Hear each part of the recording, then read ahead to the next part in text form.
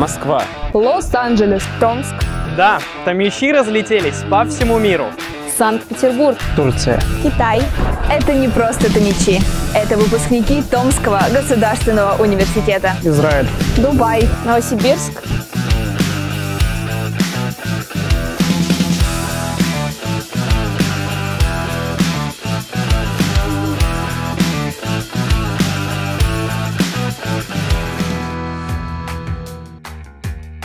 Аркадий Сигал – это старший научный сотрудник Московского научно-исследовательского центра Шлюмберже. Это международная компания со столетним стажем, которая занимается разработкой нефтяной и газовой индустрии.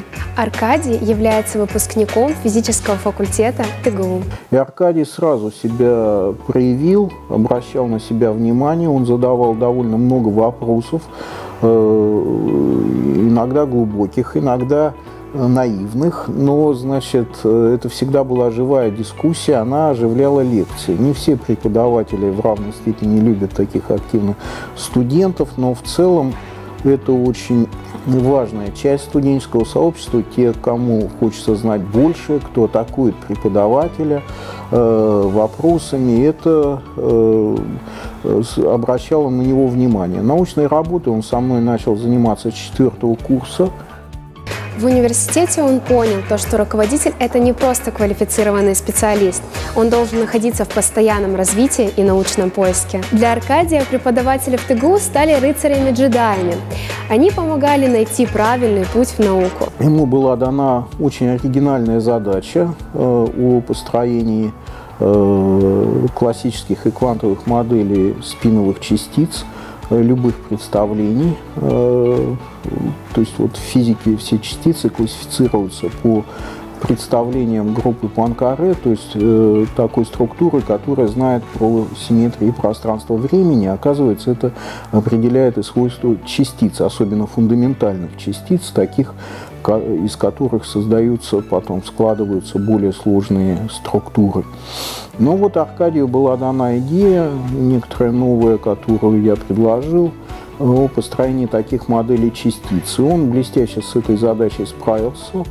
Э, также в дальнейшем мы развили эту тему уже, когда он был аспирантом, э, совместно с другим очень талантливым аспирантом того времени Алексеем Шараповым, который был на год старше Сигала, и они блестяще совершенно взаимодействовали. Это был просто э, замечательный тандем. В Томский государственный университет Аркадий поступил, потому что здесь были все возможности заниматься теоретической физикой, а она нашего героя увлекала еще с самого детства. Ну, вообще теоретическая физика любит талантливых, трудолюбивых, э, и, так сказать, при этом они могут быть очень разными. Вот Аркадий был таким типом.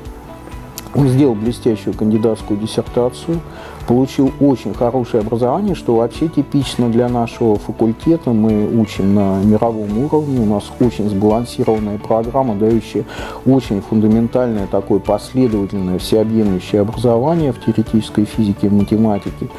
И это было замечено, как и его успехи, его, э, так сказать, таланты и прекрасная подготовка. Он получил приглашение после защиты кандидатской диссертации приехать в Москву в, теори... в отделение теоретической физики Физического института Академии наук. Это крупнейший российский, советский до этого и самый, пожалуй, знаменитый институт физический в России.